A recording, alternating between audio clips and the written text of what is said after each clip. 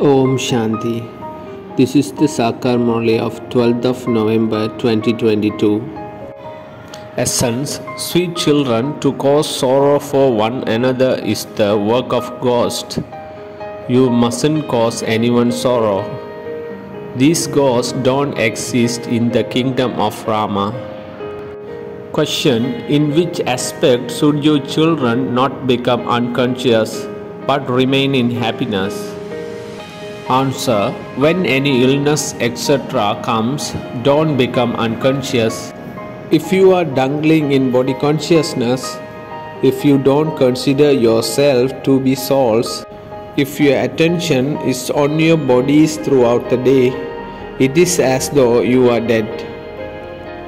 Baba says, Children, stay in yoga and your pain will reduce. Your sorrow is removed with the power of yoga. You remain very happy. It is said, when you grind your own ingredients, your intoxication raises. Remove the suffering of karma with yoga. Essence for Dharana Become nightingales of knowledge and sweetly chirp knowledge to everyone to revive them from the grave. Reveal the mother and father. 2. Don't allow any ghost to enter you. Even the ghost of attachment destroys all truth. So protect yourself from ghosts. Connect your intellects in yoga to the One Father. Blessing May you be constantly carefree and stay in infinite happiness by staying aware of your unlimited rights.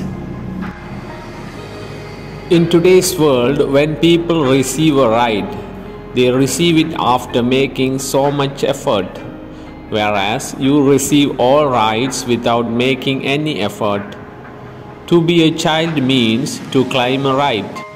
When something is mine, it means that I have received a right. So it is a wonder of myself, an elevated soul.